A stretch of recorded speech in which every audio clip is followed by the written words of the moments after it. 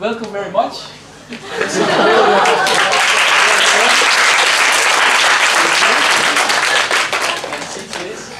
um, I'm very happy that uh, Mr. William Roy Leung is in our midst. Uh, he single-handedly got rid of the invalidated uh, four provisions uh, that were in breach with the Bill of Rights Ordinance.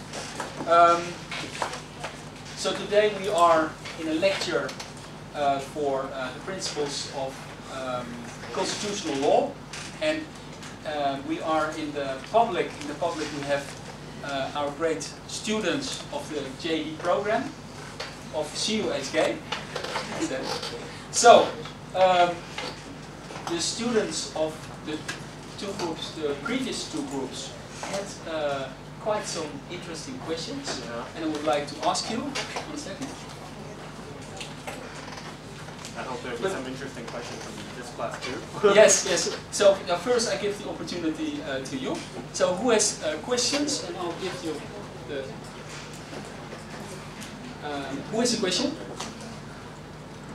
Yeah. Can, can you uh, maybe say what? Maybe this is uh, can you. I ask you what made you um, interested in bringing this court, bring this case to court? Is What? it personal? What? What's your yeah? What's your reasons to? You maybe repeat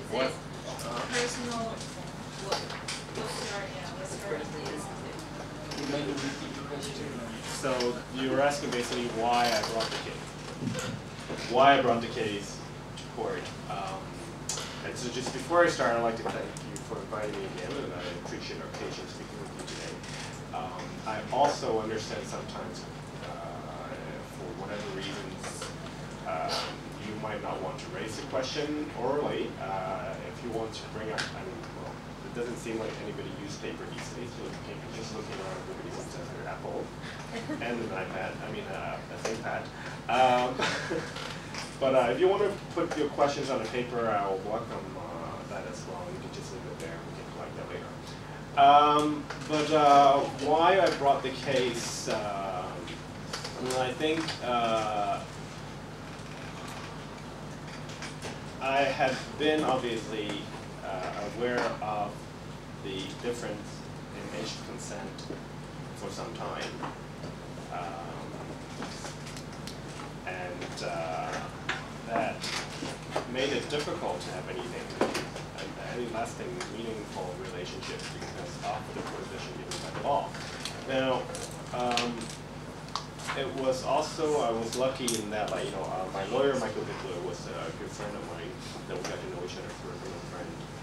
Um, so, like, you know, he was kind enough to, like, you know, uh, gave me the legal advice on what we could do and possibly bring a challenge against the government. And I think sort of that gave me the reason uh, to think about, like, you know, why do, if I really want to push forward um, and uh, um, what does it entail? Because for me personally, um, challenging or launching a judicial review is one thing, uh, and we already anticipated, like you know, if we were to go ahead with the case, there would be media interests and whatnot. I had been out to some friends, I hadn't been out to my family yet, so uh, obviously the decision was not only to take up the case, to consider, like you know, if I do proceed with the case, um, the, uh, what I had to also consider was of like, okay, like, you know, that gave me a timeline to come out to my family, so, and, and, in quite a very public manner as well. Uh, in case, yeah, in case anybody remembers. Um, so, um, but I think that was important that uh, I, I, um, I think personally I felt very strongly about pushing forward the case.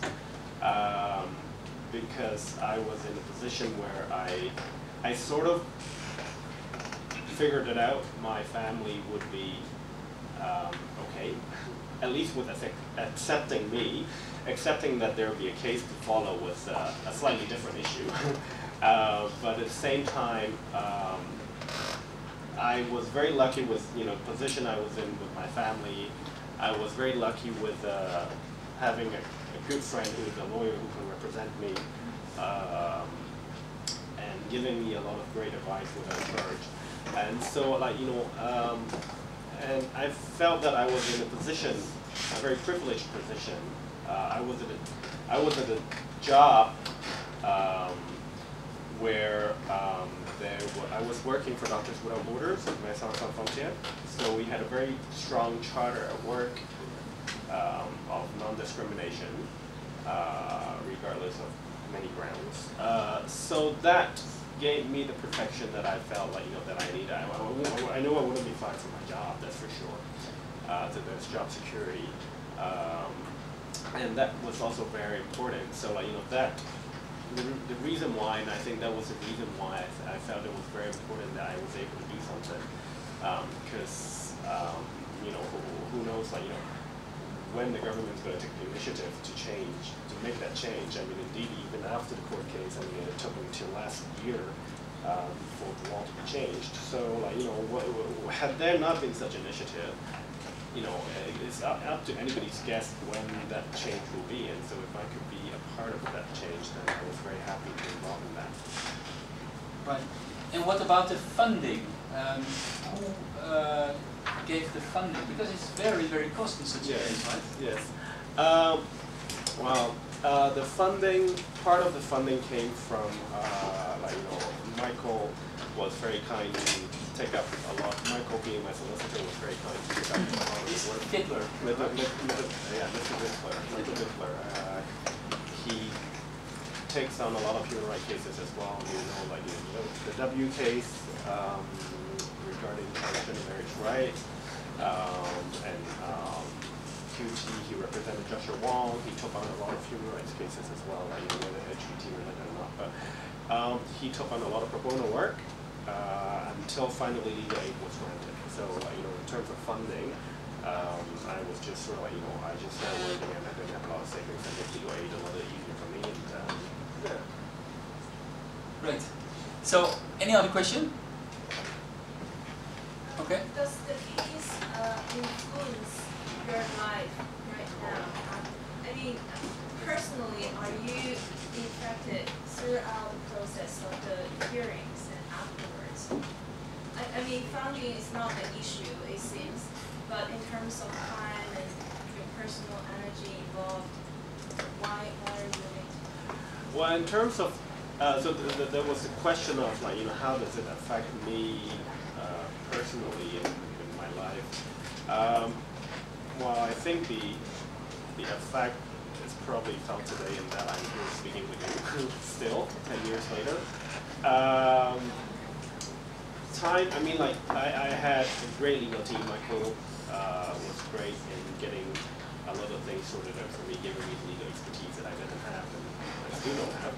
Um, but uh, personally, it was just sort of like taking time to, um, well, it was more interviews, attending interviews. Um, you know, I mean, like, it was like two, uh, two or three occasions where I flew to court, and you know. Um, but otherwise, I mean, how it affected me, I think it affected me in that, like, you know, I was able to, um, I sort of, in a way, became public face uh, to LGBT rights, to gay rights at the very least. Uh, and that um, had been a very interesting experience because, like, you know, um, not many people had um, the again, like you know, I talked about my privileged position and that, like you know, uh, I didn't have to worry about my job security. My family was sort of okay. At the time, they were sort of okay. Like you know, now they're really okay now. Like you know, me being gay and really public with it. Um, so. But it affected me sort of like, you know, I became a public face, so I kind of like, you know, uh, started pushing things a little bit more and sort of, you know, engaging with the government in different ways, engaging in dialogues in different ways and trying to like, move things forward on other gay issues. Um, I became more bold, I got to talk about it a lot more often. I, I, it was interesting in that, like, you know, shortly after the case, because it was sort of like, you know, a very public case, um, there are places that I go to where I eat often, you know, the, the, the, owner who I see sort of like, you know, once every, I don't know, two months or whatnot, like, they remember me, right? You know, places you go back to. Um, you never know their name, sort of, but like, you know, you just sort of have chit chats and they kind of like, you know, they mention about the case and, and it's really, really encouraging to hear the positive remarks. It's always been positive. Like you know, whenever I, I whenever people want to say something to me, is I'm very lucky. Also, like you know, I had I hadn't I have not still until this day had anyone kind of come up to me and say anything negative to me, like you know, uh, nasty or calling me names. So I'm very lucky, but at the same time, a lot of people experience that. I have to say, and I must add that. But for me, um, that made me also realize, like you know, we can say, we and we often do say, well, Hong Kong is very conservative, very traditional, uh, you know, homosexuality, such issues not really uh, accepted. Um, but I've, my experience has proved that wrong. Um, my experience has been that you know people who I don't know often come up to me. Uh, they even went to my mom like time when people knew, you know, me and can associate me for my mom. You know, they went to her and say, well, you know, they, they, they said very positive things, and that made me think, well, we are not as conservative and as narrow-minded we think we are sometimes, and I think on a personal level, on an interpersonal level, um, people might not be informed about what homosexuality means, or like, you know, that there's a very side um, portrayal of what homosexuality means that like, you know, they might not know any open, openly gay people. So uh, I, the experience for me has been that you know it's been very positive and people are very accepting. Uh, they need to know more, and me being that person, I can give them what they want to know and like you know uh, demystify. Uh, so that has been the, the, the, change, I think, you know, how it affects me and how I've you know, the uh, interpersonal change and connections that I have with others. You became the vice chair of this organization, Pink Alliance, right? That's correct. Can you tell something about this organization? Uh, well, Pink Alliance is an organization uh, worked on LGBT rights, working on realizing LGBT rights. Um, and so through uh, we co-organized the Pink Dot uh, that happened a few weeks ago. Um, there's the Pink season, it was like a festive season of LGBT cultural events. Um, we engage in dialogues with governments, with uh, electoral members. Uh, in fact, next week I'll be traveling to Geneva uh, to the UN to uh, some, make submissions to the Convention Against Torture on uh, a few of the issues of our concern uh, the, the transgender, the, recognition of, the gender recognition of transgender people requires surgeries, for example, in Hong Kong is a concern, um, um, not only Hong Kong but UN level, so making submissions to the UN and all that, so um, yeah. Before we make a review of these last 10 years, mm -hmm. because there's probably some trends, some developments hopefully, uh, positive ones hopefully, um, can we uh, can you take us back to the time when you were in court? Um, and did you have discussions with the, maybe with the, some of the um, judges? They ask you questions. How did that go? Can you tell us some of this experience? I know it's a long time ago, but uh, what uh, was your experience at the time? Well, I didn't really have to interact with the judges. Um, they didn't talk to me directly or indirectly. Uh, I mean, it was just a, it's a matter of like, you know, the, the, the, barrister was arguing the cases on both sides. It was interesting, however, to um, be in a courtroom. I mean, it was obviously my first time being in a courtroom, and um, and they were citing uh, uh, case laws and whatnot from sort of like you know, Victorian era. So like you know, they're talking about like anal sex and um, just talking about like bestiality and all kinds yeah, of different reasons that like you know led to where we are or where we were in the court that I thought it was very interesting. Like so, um, but that so I I thought that was sort of like you know a, an interesting experience. Uh, an interesting and also interesting experience was uh, my grandmother uh, was uh, uh, well she she was super supportive. I mean she'd be going to Pride tomorrow. Yeah. Anybody going to Pride tomorrow? What, nobody? Oh, there's one. Oh, oh, there you are. Hi. uh, uh, so, well, um, well, I do hope to see you tomorrow at Pride, but I mean, like, you know, my, It's also for straight people, right? it's for everybody, and I think everybody should come. And I was actually uh, before coming, I was writing. Uh, I was asked to write an editorial that I hope to finish soon. Uh, but Pride should really be an occasion where, like, you know, people go not only the gays, but like, you know, allies to show their support as well, because uh, nothing gets done without the support of the allies. Um, Can you tell us something about uh, this time? Um, were you despairing sometimes, or uh, were you very positive that it would work out fine?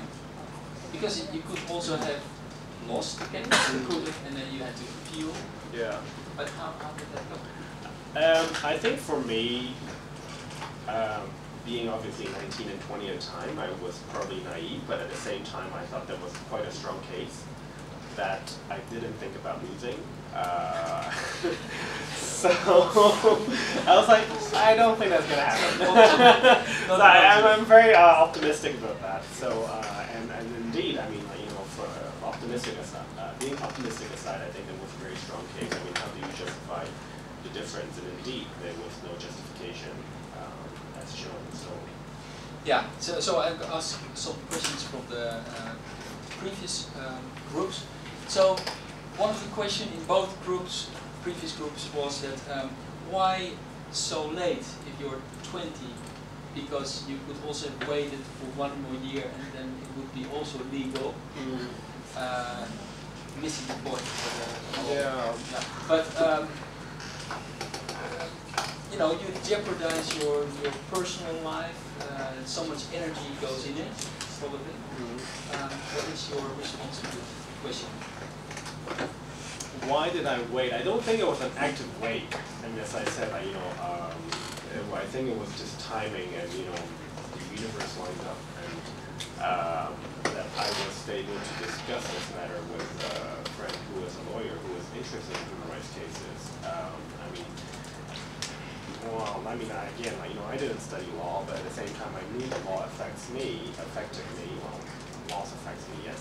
Um, so, um, but there was very little I know what to do otherwise, like, you know, being, I mean, being, well, the, I think they were arguing, like, you know, from the time that it applies, so that, therefore, I think, like, you know, from the moment from 16 onwards, and I should have launched the case. I mean, like, you know, well, unfortunately, like, you know, they didn't teach a lot of law and human rights and responsibility in the school enough that, like, you know, you know, you know, as a, for a 16-year-old to know to challenge the system.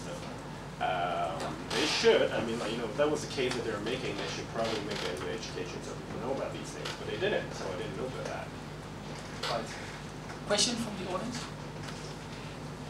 What's the future direction of your organization? And um, your aim would be on judicial review or the legislation or on promoting community awareness or you will do all the things?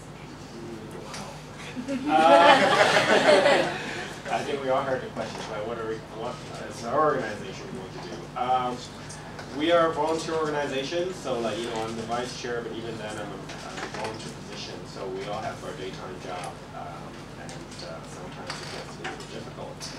Uh, I mean, obviously, we want to do all those things you said, um, but, you know, time against resources. Um, Uh, but right now, what we're looking at, sort of like, you know, my part, my role is more sort of like engaging with the UN committees. So, um, you know, the new international laws and conventions and treaties that are applicable to Hong Kong.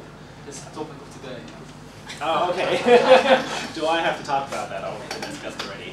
Uh, you know, we make submissions to the UN, so you know, I participate as a civil society, and I basically say, well, the government says this about how they're fulfilling their obligations, while on the other hand, I say, well, not quite. So they're basically trying to um, get more people involved, get the UNs involved in international standard. Uh, I think Hong Kong government still looks up to the, well, still, uh, to um, these uh, standards, and they kind of still want to keep up that name. How much longer do they want to do that? I don't know with the current administration.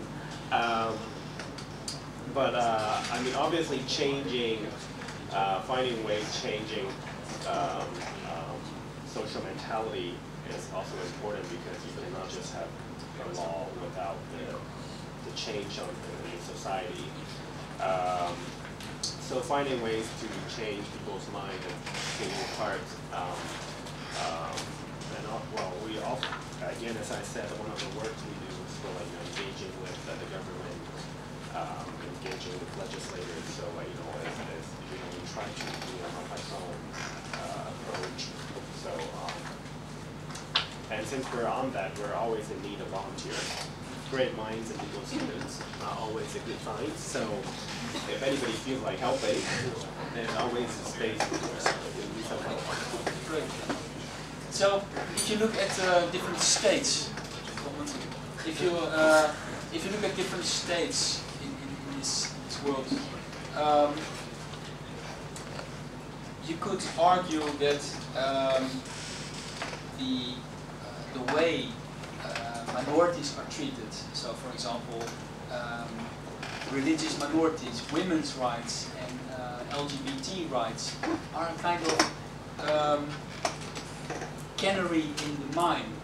So if the, if the cannery in the mine has no oxygen, it will fall down um, in relation to liberties in society. So if the LGBT rights are bad in the country, if the women's rights are bad in the country, if religious minorities are treated bad, the liberties in the whole, for, for also for the majority, is going down the drain. Do you uh, agree with this? And what is your comment on this? Do you see that if you look to other states, other countries? Um, I was uh, listening to, I, I forgot where I was listening to, um, to this, the, uh, but I heard this the other day. It was basically talking about the uh, British Army. Know, the, um, uh, the British Army um, obviously had not, for the longest time, uh, was very similar, I suppose. How similar? Well, was very similar to the U.S. way of dealing with uh, gay personnel. And you probably have heard of don't ask, don't tell policies that the U.S. had until such recently time that they, they decided to repeal that. The UK sort of like, you know, introduced the Equality Act. I think was it at the uh, sharing that we were doing. was it Magna Carta or I forgot where I heard this the other day, but was, the, the, the speaker was basically saying, well, like, you know, um, the British armies at the moment really thrive with attracting minds who could think differently. When you are suppressing diversity, when you are trying to suppress, uh, um, you know, respect the diversity that we have as a people, um, you are limiting what, how best um, this entity can perform um, by drawing different, by, by drawing people with different minds together. You can make use of these ideas and actually sort of like, you know, uh, uh, empathize uh, how the enemy thinks. And so uh, the article, I think it was whatever I was, it was a speaker, an article that I was reading or, or listening to, was really saying how that has really changed the British Army uh, and making it sort of like um, a place where everybody could come and really for it to thrive, to really have everybody represented. Um, so I think that really means a lot um, in uh, in the context of Hong Kong, um, where we very much stress on conforming and Yeah. conformity, uh, and not sort of like you know not rock the boat. And I think that uh, and not be different. I think that really sort of has to change somewhere. And like, you know, um, rocking the boat is fine and it's not going to sink. Well, there's still room for improvement here. Absolutely, I think there's always improvement. Yes. Um, Yeah, um, so going forward, how do you feel about um, the chance of Hong Kong legalizing same-sex marriage? And I think also in particular, perhaps how would you compare, you know, this possibility and this case? You know, if it was a victory for this, but then, you know, how do you see the future of gay rights? Yeah. The, yeah. Okay. So the question was, am I optimistic seeing same-sex marriage being uh, legalized in Hong Kong, and how And I think it would be interesting for us to sort of see how you think, you know, how you compare these two cases. I mean, this possibility Yeah. um, of legalizing um, same-sex marriage and then um, this particular Yeah. case. Um, There were already some steps made, right, for cohabitation and um, partnership uh, certificates years Uh, ago. No, as far, no, there's no partnership uh, certificate, and the uh, same-sex partners are, the, the, the, the uh, rights of same-sex partners are not recognized Okay. almost in any laws, except uh, recently there was the electronic health bill, uh, whereas, um, um, since it, the government doesn't recognize, doesn't want to recognize same-sex couples, uh, and the existence of same-sex couples, it basically says, well, anybody living in the same household would have access to the other person's uh, health uh, records uh, and, and medical setting. Uh, so that way, sort of like, um, I mean, in, in, in how it's structured, doesn't really recognize same-sex couples, but in practice it does because, like, you know, you have same-sex couples who live together, and oftentimes when one falls sick, when one falls sick, then the other person cannot get access to the treatment plans or related information. So that's one piece of legislation that sort of gives a de facto recognition to that. And the other one is the domestic violence ordinance, um, which recognize, uh, which recognizes, uh, uh, married cohabiting couples, and I think those are the terms. But otherwise, there's little recognition. Um, uh, in terms of uh, same-sex marriage, I, unfortunately, with the current setup of our government, is uh, I don't think um, it will be coming anytime soon. Uh, change will again probably be brought through litigation um, and judicial reviews, and uh, and I think there are already uh, some attempts to. Um, uh, uh, inviting the court's opinions on this matter. For example, um, you probably have uh, heard or read about the case of QT, whereas there are English lesbian couple, and one partner came to Hong Kong to work, and the other partner cannot come to join her as a spouse. I mean, this would be almost automatic if you're a heterosexual couple. So the couple, the lesbian couple here is uh, uh, has filed a judicial review uh, to the court, and the judgment should be coming out in a few weeks. So like already there are already some small steps uh, inviting the court to look at the issue of whether it is right to exclude people um, who are legally married elsewhere. Um, I understand there should be other cases coming up soon, but that will be to come. Okay. Question from the previous groups. Um, did you uh, learn about uh, statistics of uh, people who were offenders, criminals of um, these provisions we discussed before, the 180 uh, ones when they were under 60, uh, under uh, 21? So was this a real problem in, in, in statistical sense? And what time frame? uh, Whether, so basically the question is whether I knew of any statistics of people incriminated yeah. under the charges that I challenged. Did people actually go to jail for this in Um, Hong Kong?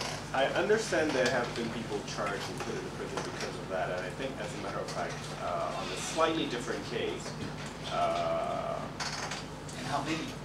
I don't have the figures with me. Uh, I think those figures could be obtained from the, probably from the Justice Department. I think I have, I have uh, some data in my, um, in my uh, files. I don't remember that uh, in my head. I think uh, there have been cases, obviously, with people being put in bars because of the provisions that I challenged. Um, For, for years or for, for months? Or what are we talking about? Um, I, I don't, again, I don't have those figures here. You can Uh, research. Yeah, we, yeah, so, uh, but I think it was when, uh, my case was happening, there was two guys who were prosecuted, but on slightly different reasons. Uh, obviously age, uh, the age of consent was one thing, but then they were basically caught having sex in the car in the public, so, um, they were their case touched on slightly different issues, but then their case happened around the same time when my case came around. So their case went on pending to the judgment of my case before they could proceed forward in terms of the age consent law. So um, definitely there are people who were affected by that. All right. Questions? Yeah. Um, do you think EOC has done enough for the LGBT rights? And if not, in what, what aspects do you think they can do with the government and also with the public to promote LGBT rights? Um, what can the EOC do? Yeah. And do I think the EOC is doing Has done- enough? yeah, yeah. Um, I think the EOC has been, um, well, the EOC has been very supportive, uh, especially the last few years, both with the previous um, uh, chairperson of uh, WC Land as well as the current Dr. York Chow. Um, I trust that they would like to do more. I would hope that they could do more, but I also understand their limitations. I mean, you know, with the, uh, the, uh, with the reducing funding that they get from the government, and then like they're a statutory body that rely quite heavily on the government funding. So allow the Can you please uh, also tell exactly what this organization is? Oh, the EOC is the Equal Opportunity, Equal Opportunities Commission. Um, so it's, uh, it's a very watered down, uh, uh, commission. Well, it's a very watered down, uh, you know, uh, thing to, uh, human rights, uh, uh, commission that's required, has been asked many times by UN treaties. So, um, uh, they have very limited mandate. Their mandate is very much limited on the four, uh, the existing discrimination laws, so the four pieces of uh, anti-discrimination legislation. So they can really say, well, it's not really our mandate to take to handle uh, uh, LGBT issues, but I think they are um, they've been great in like pushing the agenda as well with the resources, um, limited resources they have, um, and uh, with the limitations imposed by different factors. So I think. Uh, obviously, I would like to see, I would like them to be doing more, but uh, I also understand the limitations. And, but then, really, like you know, the government should be the one taking forward um, the initiative, um, because the government and the, the, the setup of our government, uh, the administration or executive, executive has the power to do that, but yet it sits on the power and it does nothing with it. So, If you, um, is your organization, or the scope of your organization, uh, does it include uh, China, People's Republic of China, uh, is it? mainland? Um, Yeah, well, if we don't, uh, we have some liaisons and uh, some of my colleagues have exchanges, uh, with, uh, some of our Chinese counterparts. Uh, but otherwise, we don't work, uh, on Chinese issues. If you can sketch the last ten years, because now you're, uh, you have been followed very, very close up, of course.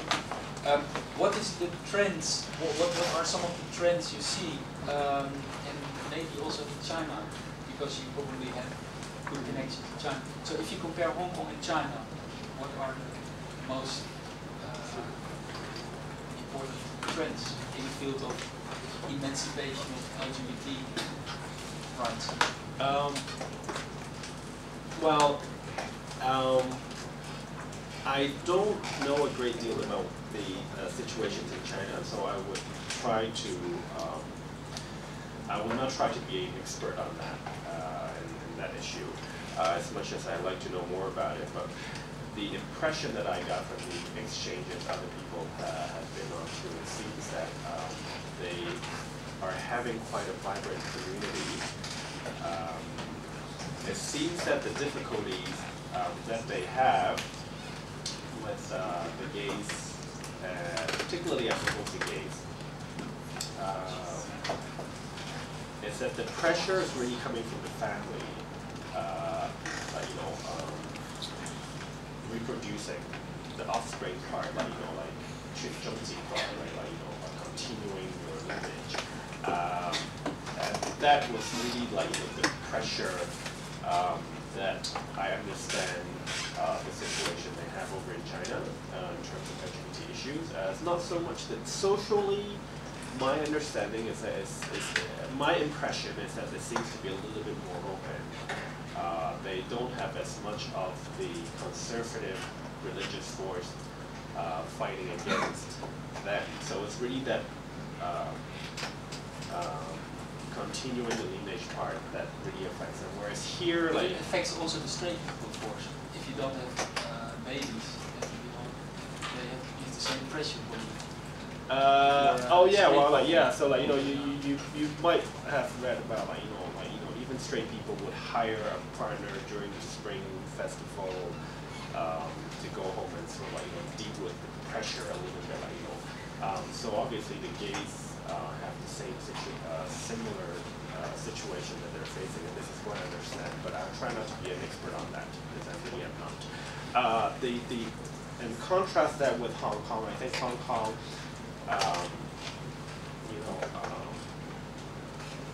we are more used to sort of like, you know, even straight couples, like getting married a little later and couples getting married not having any kids anymore these days. I mean, we have very low birth rates. Um, and I think against that backdrop, Hong Kong, um, the, the LGBT or, or the gays particularly, um, uh, have a lesser issue with sort of, you know, with being pressured to get married, uh, but it's more sort of like in terms of um, realizing LGBT rights, it's more sort of like a conservative force um, that is there um, opposing what we're trying to do. Question from the audience?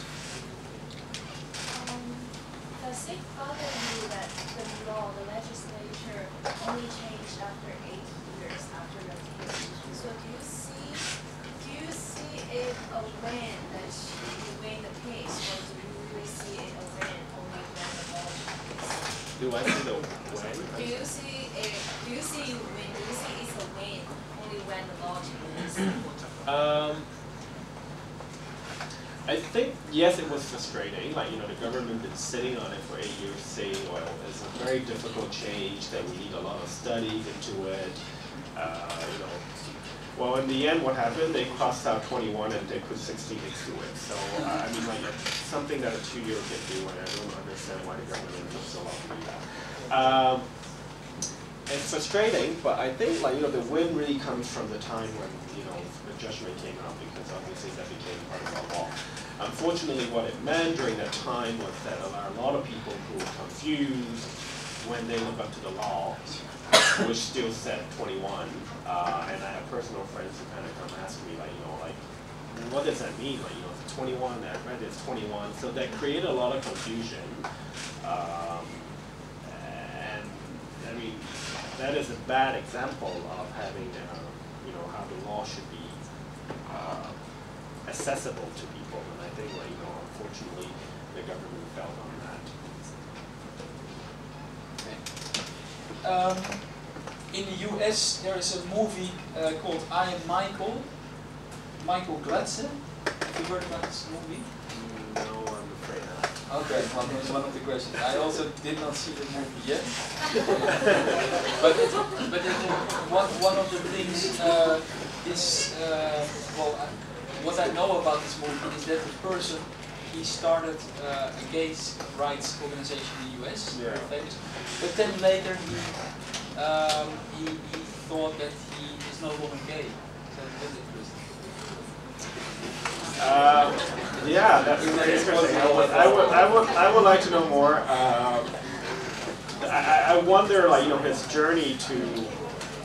I mean, I, I don't know his journey, so I don't know, but like, you know, um, Because it, do you come across this argument that uh, that uh, homosexuality is uh, like uh, curable, or that it's, that it's not just like who you are and you are born this way, like Lady Gaga sings so uh, eloquently.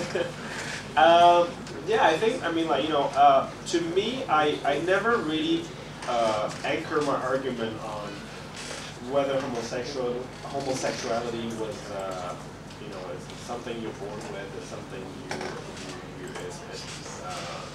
you, you is, is choice. You require a choice. Putin says. like Putin or so many people says. Uh, and I think to me, if you're born with it, then you're born with it. And even if it's a choice, why does that choice make it so difficult for some people to swallow? Like, you know, why can people not respect that choice? Um, I think it's, I well, it's, it's not fair to say it's pointless to argue either way because obviously they have their own merits. But for me, my question is like, you know, even if that person chooses one way or another, and I don't like that argument particularly, um, why do you have so much problems to accept that? Like, you know, what is your issue? I totally agree. Um, if you're hetero, you should be happy that there are more homosexuals, less competition, right? That's not the point. right? Yeah. And so we have the same problem, but yeah. Yeah. So, any more questions of the audience? Um,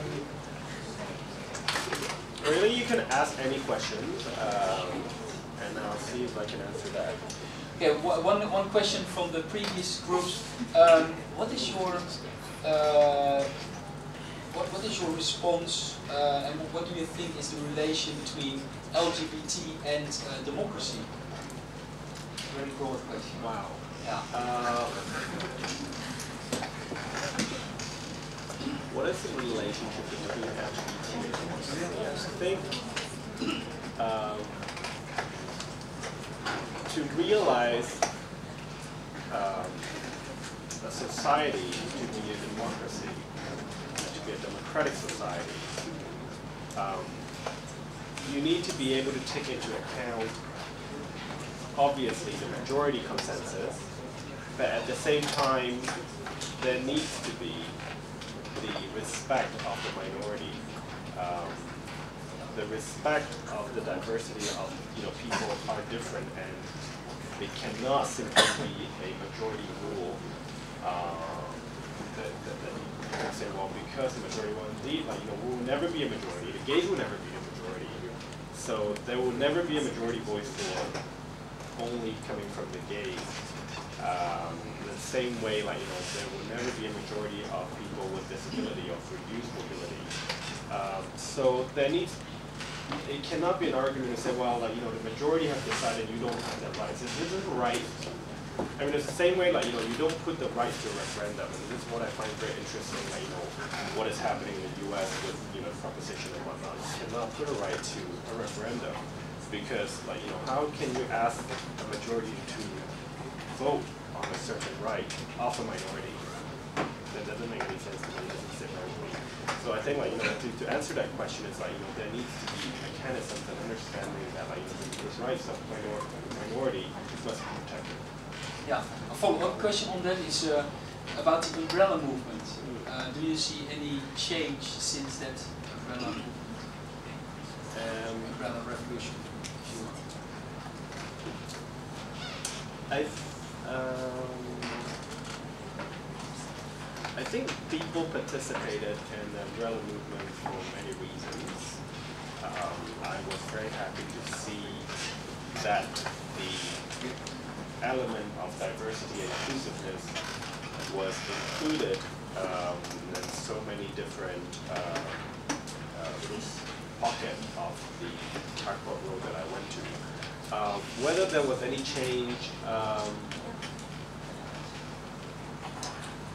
I just don't really think there has been a lot of change from the policy level uh, on LGBT issues. Um, I think it has been um, encouraging, however, that the LGBT issues has been discussed quite um, vividly uh, in our media, in our classrooms, amongst our friends.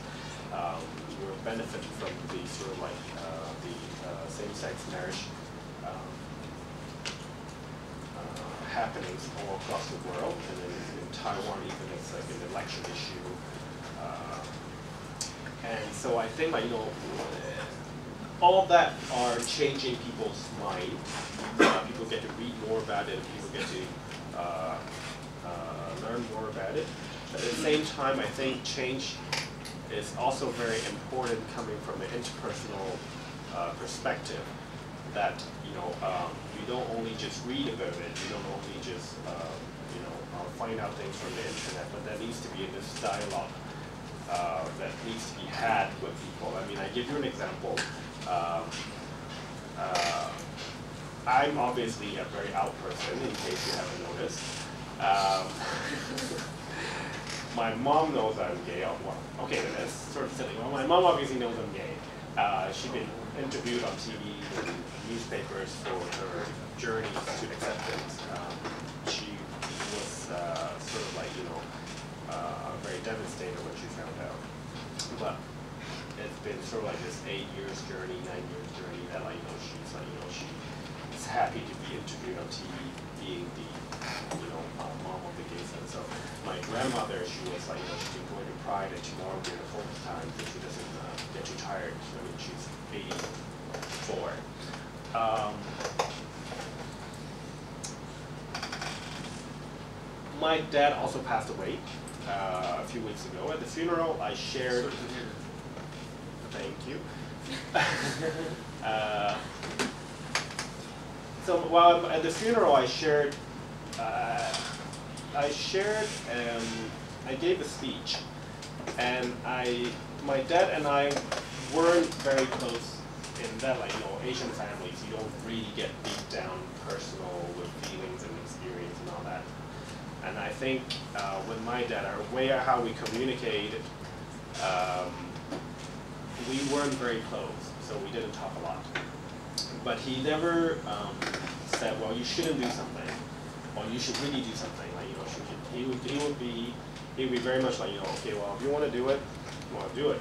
Just watch out for yourself. And, like, you know, he, it was very, he never sort of like, you know, you shouldn't really do that. So when I took on my case, he, um, um, obviously knew before it happened. I came out to mom, mom told him, and dad one day said, well, we have to talk. I'm like, well, what do we have to talk about? We have to talk. I know why you want to talk, but what are we going to talk about? Um, and that, well, I call that my coming out experience to him. I didn't know how he would react. I didn't know how he would take on the message of me um, coming out publicly, taking on the JR. I really didn't know what to expect. Well, what he said was, well, if you thought clearly with this, um, if you know where you're going, uh, you be very public, you'd be very open, um, and uh, you might have uh, challenges in the future. Like you might have trouble finding a job, you might have problems with friends, you know, all these different things.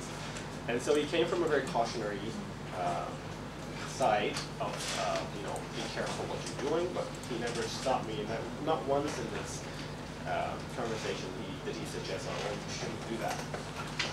And that to me became a very profound um, moment in shaping who I am, and that was sort of like a discussion that really left a very deep print in me, and um, and I felt that I need to share that because um, it was not just my coming out experience. It was also like you know his way of. He is a very like you know um, he doesn't really change himself for anybody. He doesn't.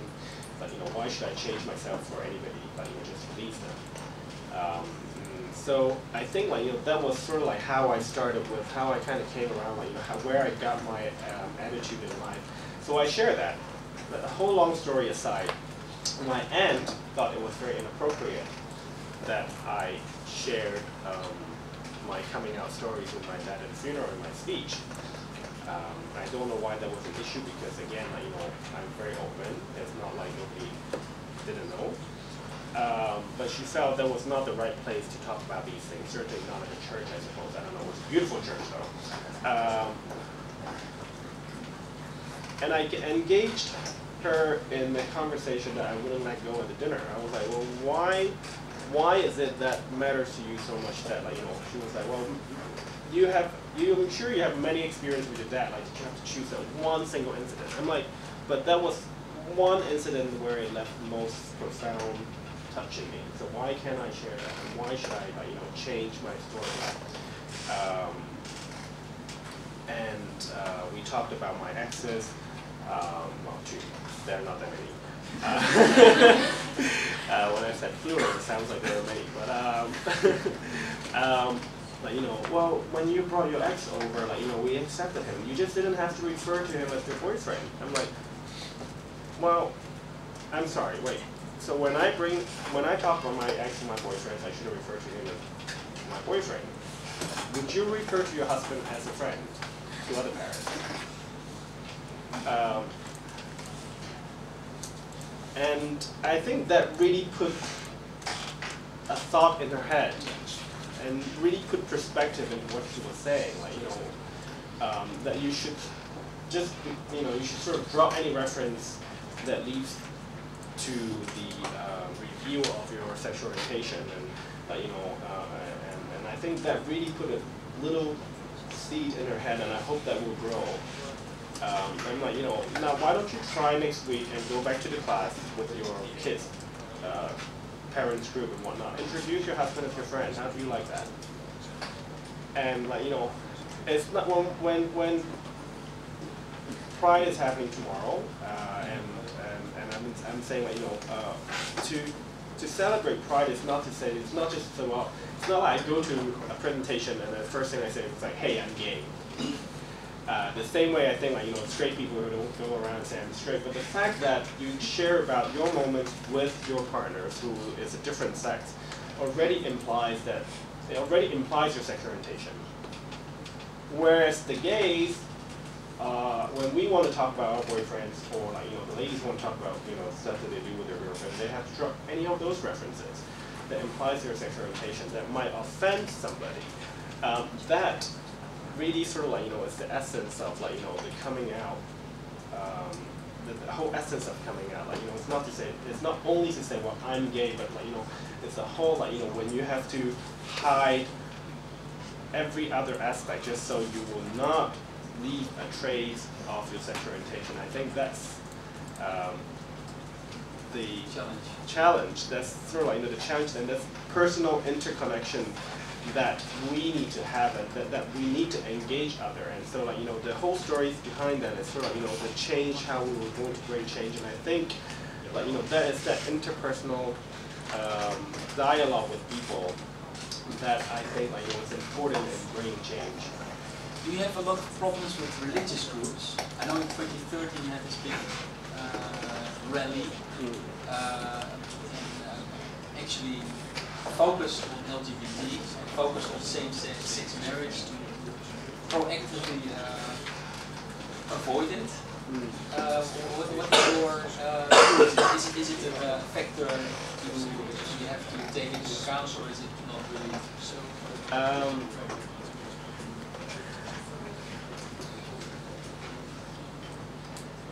I think the conservative people or the vocal people are a very small minority. They're a very small, yet very well-funded minority that makes a lot of noise and uh, that has a lot of connections with the government, uh, with a very dysfunctional setup of a government. Um, and and they're very loud. That makes it difficult for the moderate, I don't really mind the gays, um, religious people to say anything otherwise.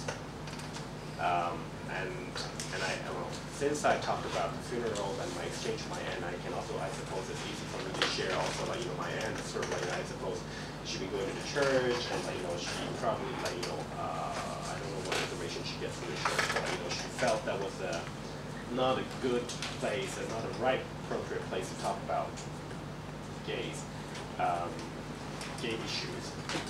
Um, but I think, like, you know, the, the mix of moderate people, like, you know, whenever church is included in the equation, then the gay has to be out. Um, and, but then no, I think, like, you know, the discussion needs to remain there. Um, I mean, like, you know, uh, the discussion with people of different religion, religion, um, you know, that still needs to take place. We still have to talk about it. We cannot avoid talking about it just because, um, you know, I, I might offend people. And I'm, I'm saying this, like, you know, obviously I'm saying, you know, um, I'm not saying, I'm just, I'm, excuse me, I'm not obviously saying like you know I should just go and just wave my flag in the church, you know, and uh, I'm, I'm saying you know rational, constructive dialogue with somebody and, and try to change the mind of people. Like you know, tell me why you think me being gay was so bad that should not be mentioned at all. Um, so I think reasonable people think. Uh, I'm confident and optimistic that reasonable people think, um, and if we can have a reasonable dialogue, um, and I hope like you know there are many of these seeds seats to be planted, um, um, and also like you know this is when the ally part really comes like you know the friends of you know the straight friends here, um, because like you know again the minority alone cannot change things. It relies really the majority people, and it relies the allies and everybody to be speaking on the topic. And like you know, when you're engaged, when the topic comes up, like you know, find a way to engage yourself in the discussion and find out what is wrong or why the person feels it's wrong about that, and just be very like you know uh, reasonable um, in, in the discussion on the issue. So I, I think like you know, I really appreciate that. Um, last few questions. Just a few more questions from the audience, maybe? Yes? Not from the audience. I was like, whoops, sorry. No problem. Uh, can I ask a question about the something gender issues that not where, uh, that very related to this case? Mhm. Uh, have you heard about that the female masculinity? Uh, yeah. Um, and I want to know how you feel about that word since it's kind of the female masculinity is the for last names the uh, the person who for like the masculinity and um, and it, some people said that that word is kind of the discrimination because the, it says the masculinity as the main word but the female as the ad, ad, uh, adjective to decorate that masculinity. Can you maybe repeat your question? Mm, I would try to, but I don't really understand the question. So, No, I just want to know how you feel about that female masculinity, since it's kind of ordinary people to uh, to female force the last name. Um, I yeah, well, I I, I, I I can try to think what that terms means, but I don't really understand what it means. uh, so I don't know if I can Do you mean bo- bodybuilders for women? Uh, you mean like sort of somebody who's butch? Bo- bodybuilders for, for w- women bodybuilders. Uh, not bodybuilders, but uh, kind of a, a word that describes the, Is it like sort of like butch the woman? Uh, yeah, uh, that's right. Yes. And, and is that bad? Um, Are they discriminated? Since some people said that the, uh, that word, that uh, in the construction of that word, the, the main word is the masculinity, but female is just like an adjective to decorate that masculinity. So it's just like that we we regard the male as a, uh, we, we regard the man as a Oh, you mean, I understand. understand. So you mean uh, most provisions have the he form. Yeah yeah. Oh, okay, the linguistic of, of law, of drafting laws, which I think you, you, you mean, right? That's not Not My question then is that like butch, you know, people would describe them as female masculine, but then you're adding the word masculine behind female, so are you just like I think what you meant is that it's kind of discriminatory because masculinity. yeah, because you need to add word. masculine to describe that kind of people when they're not actually really being masculine. I th- I think that's what she meant. is this like a, uh, are you trans? Is, could it be a Chinese term? Uh, is there a Chinese term to that, or is it an English term that you came across?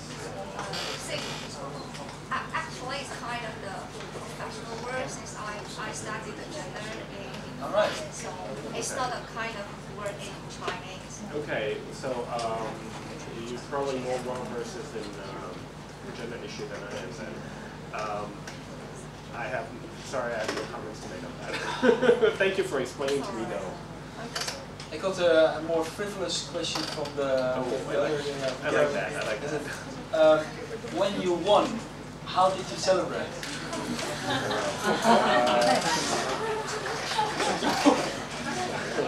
I think that I wish it was more juicy. Uh, uh, after after the case, after winning the case, I think I spent the entire week doing interviews. Uh, it was just like work, interviews, work, interviews, more interviews, and work. So. Uh, we had we had champagne and also like you know, uh, a little a little while later and we didn't really have a, I mean like you know we didn't really have a party but until this was like you know an occasion where I got together with my friends like you know we, kind of crack open a bottle of champagne but it was not like you know we threw a party and whatnot but uh, so it was like you know uh, yeah again like you know um, I wish it was sexier but I'm sorry. Um, a question about uh, Confucianism. Um, do you think there is anything inherently uh, incompatible with uh, LGBT and Confucianism? Um, I'm not very well versed, and I have to, I have uh, that's a great question. Uh, I have to apologize and say, well, I'm not very well versed with religions or Confucianism. Um, so I mean, um, so I cannot really contribute to that. Um, you know, I come from a perspective of like, you know, I mean, even though my mom became more religious recently, my granny been well, associating with the church a little bit more, um, but it's not like, you know, we were very like um, church everything, everything, everything, everything Jesus. Um, I have never been affiliated with any um, religion, so um, from I think like you know, I'm sort of like you know, I just sort of see myself as more humanist um, anything. So like a matter of love and respect and you know treating others the way you want to be treated um, are values that I hold dear to.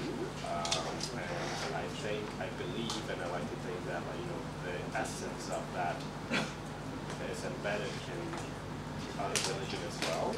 Um, so I hope, uh, be it a philosophy or religion, like you know, I think like you know, loving and respecting other people's uh, and see others the way you would, and really support what I think. Okay, great.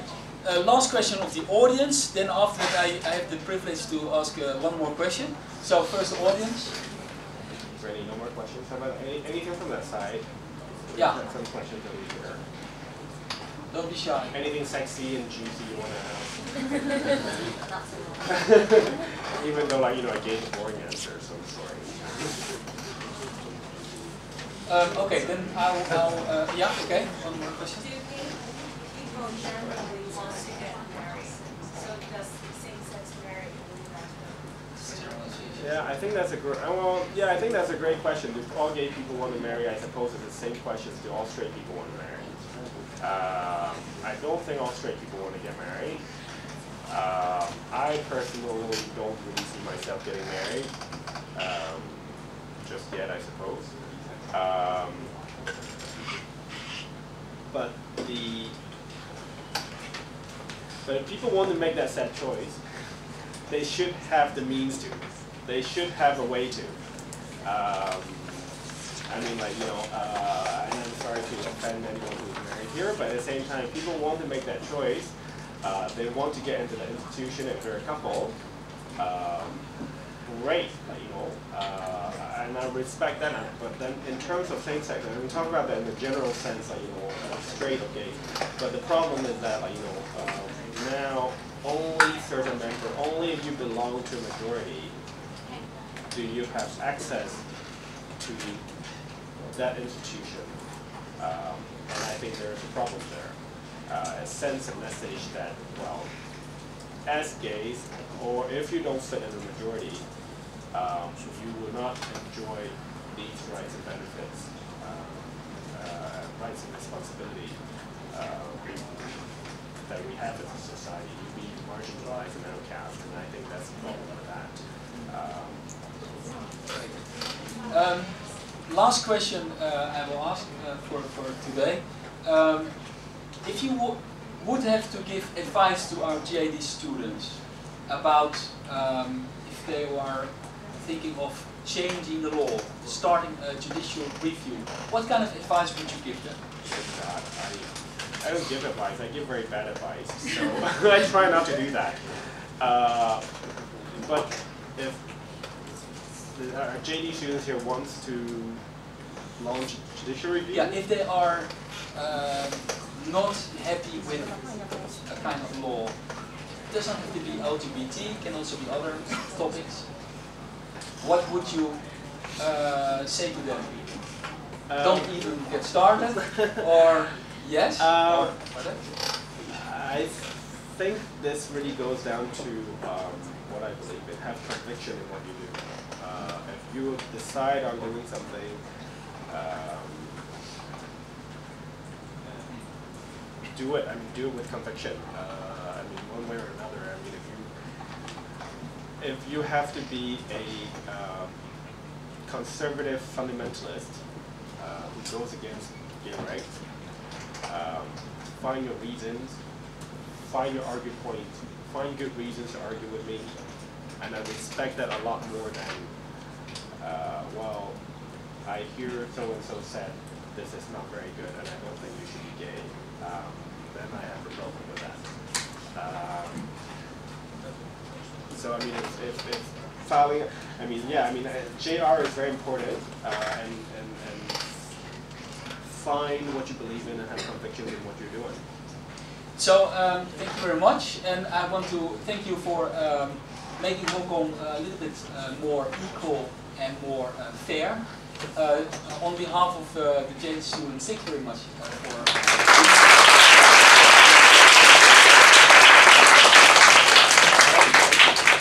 Am I dismissed?